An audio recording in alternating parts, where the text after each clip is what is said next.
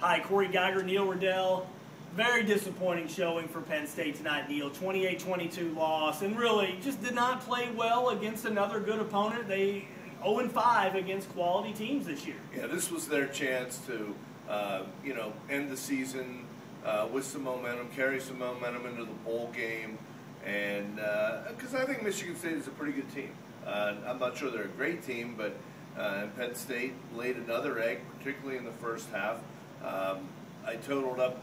I mean, other than the Ohio State first half, they scored one touchdown in the four losses in the first half against Illinois, Iowa, Alabama, and, and, and uh, Michigan State. The team's inability to put together a 60-minute game. A lot of the players and Jay Paterno talked about that after the game. What is it about them that either makes them not ready at the opening kickoff or for the second half or, or what, whatever it may be, they're just not capable of putting together a complete game?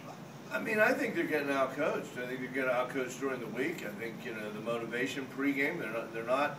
It doesn't appear that they're coming out with a lot of fire or that they're overly well prepared. And I also think that some of this is, um, you know, you could always count on Penn State to be defensively keep you in games, and they don't have defensive talent uh, or nearly as much as they used to. Yeah, and I would agree with that. Just the bottom line for me is they just don't have the horses this year. It's not the X's and O's, it's the Jimmys and the Joes, and they don't have they don't have the guys on this team on both sides of the ball, the playmakers on offense, the playmakers on defense.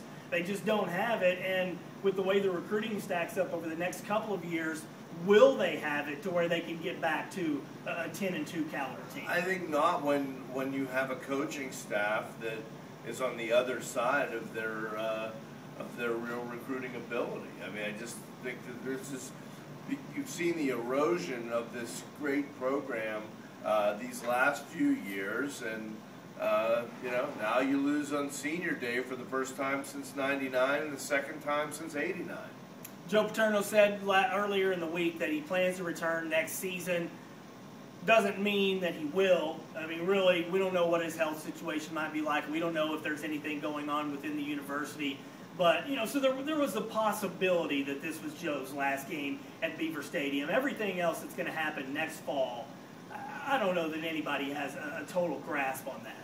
Yeah, because I, I, the, the, whole recruiting problem is, it, it, I mean, it's a, it's a year-round cycle. So once they get through this and, you know, complete this class with another seven or eight kids or however many it is, they got to get right into getting early commitments through April and May and June. And if there's any question on Joe's status or how long that, that he's going to coach, uh, and, and, and, frankly, at this stage of the game, how much can he really effectively recruit? What kind of future are they selling? It just has come to the point where they need definition.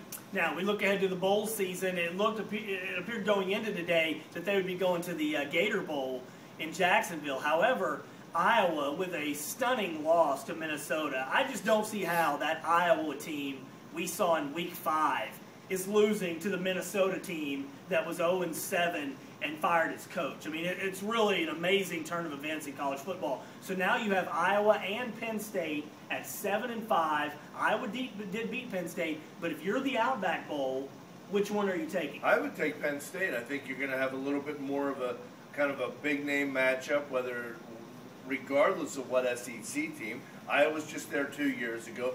You do have Joe. It is a possibility it would be his last game. So you have that to sell. Yeah, and uh, I don't uh, think either Iowa or Penn State fan base is going to be overly excited. And my guess is there's still a lot more Penn Staters that live in Florida than Iowa. Iowa's lost three in a row. Iowa was in the Outback Bowl two years right. ago. Now, let's just break it down. We don't know who the opponent would be in the Outback Bowl, but it would be a, an upper tier SEC team. We're talking either Arkansas, LSU, Alabama, South Carolina, uh, Florida, someone, uh, one of those kind of teams. And that would give Penn State, if they could play in that bowl game, probably wouldn't be Florida, by the way, but it would give Penn State a very good opponent and if you can beat that team, then maybe we look differently upon the season. But but if you don't, then you're looking at seven and six. Right, and uh, I would have to think that you're looking at Penn State being a, a touchdown underdog no matter who they play. Easily, easily. So, all right. we'll see where they're going to go for the bowl season. We may not know till the first week of December. Boise's loss uh, really changes some things. But one thing I want to say in closing congratulations to those Michigan State kids. Michigan State has lost by an average of 23 points at Beaver Stadium in these senior day games since Penn State joined the Big Ten. That was a very good Michigan State team. Mark Dantonio is probably going to get my vote for National Coach of the Year. I just thought the guy had a heart attack this year, Yeah. and they win a Big Ten title. Yeah, they coached three games in the press box and he missed a game entirely.